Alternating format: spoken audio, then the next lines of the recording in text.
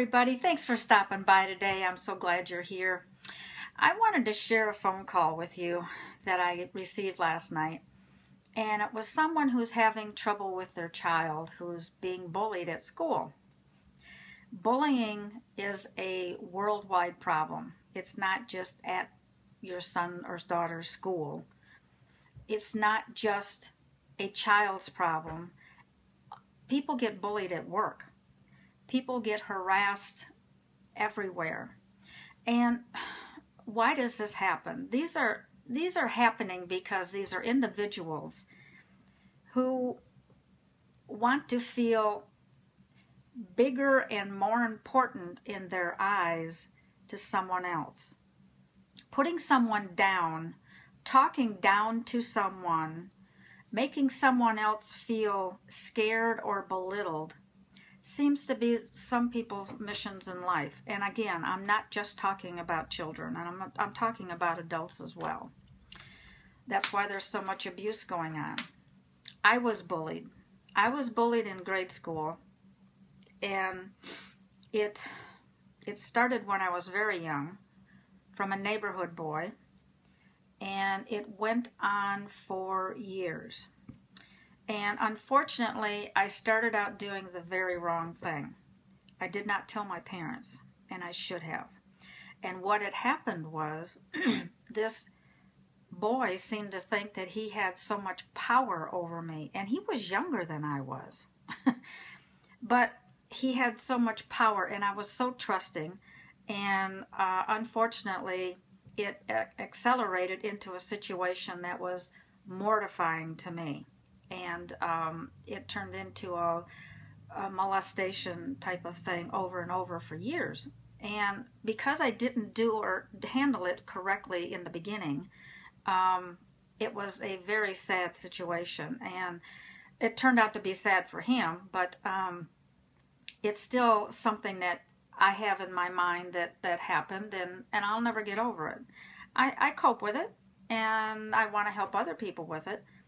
But when you go along in life and when you're adults, you think you're free from all of that stuff that happens at school as a, as a child.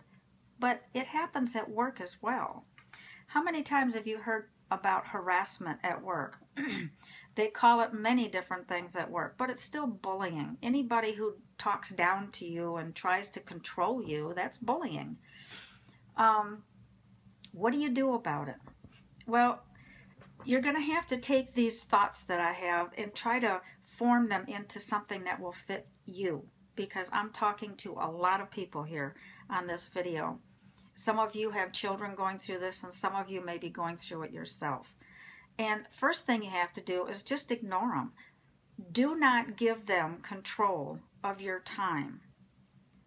Don't don't do that. Don't let them control you. The minute that you respond to them, all of a sudden they start thinking they have control of you. So you have to ignore them and be strong on that.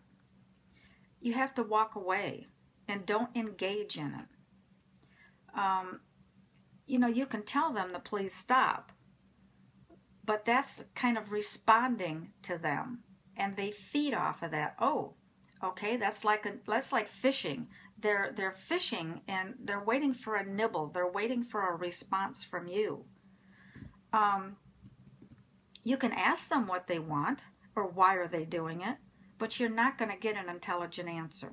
You, have to realize what you're dealing with here. You're realize you're dealing with someone who just wants to control you, and they're going to control you in a way that's going to threaten you, and they will threaten you, and they're threatening your children if they're doing it to your children. If they tell, they're going to make it horrible for them well, I'm going to tell you what. If you don't tell, they're going to make it horrible for you. So you might as well get it into your children that they must tell you, regardless of the threats that they get. When I was bullied, I was threatened. Don't you ever tell anybody. I'll, I'll tell them it was all your fault or something like of this nature. What happened to that? I remembered that, and I never told anybody. But then I wound up in a marriage, in an abusive marriage, and he did the same thing. Although he was abusing me and beating me all the time, I was still threatened. and I was afraid to tell anybody. So encourage your child or your friend if they're going through this. They must tell somebody about this. So what if it's your word against theirs? It's still out in the open and they're they're still going to be scolded about it.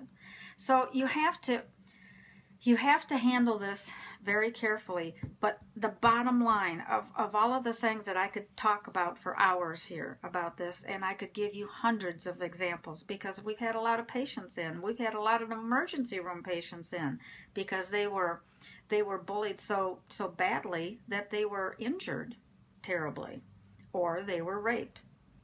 So you must encourage people to tell somebody about it. Tell an adult. Tell a responsible person. Tell someone who's not related to or connected to that other individual that's doing this. Bullying is a serious, serious problem. We've seen in the news a lot of people, a lot of kids, and even adults who've committed suicide because the pressure is enormous. And yes, it is. The pressure is terrible. So if you know someone who's being bullied, whether at school, whether it's your child, whether at work, if it's you or a friend or a loved one, it has to be brought out into the open. And it has to be talked about and dealt with. It's not going to ever go away. And if you don't if you don't report them, they're just going to turn and do it to somebody else and that person may not survive. So be careful how you handle this, and but do do get it out in the open and do get some help with it because it has to be dealt with. Okay, I hope that helped you a little bit, and I hope it will help someone else that you know who has been through this. It's a horrible thing to go through, and it's something that you'll they'll never, never get out of their mind. They'll always have that with them. So I hope that helped with you, uh, and I and I encourage you to talk to somebody. Um, and that's all I have for you today. There is a link above this video that uh, will take you to my blog's homepage. I have blogged about this. It's in the library of my homepage, and I will be blogging blogging about it again at dailyadversitysupport.com. I hope you have a fabulous day, and I will see you all tomorrow. Bye bye.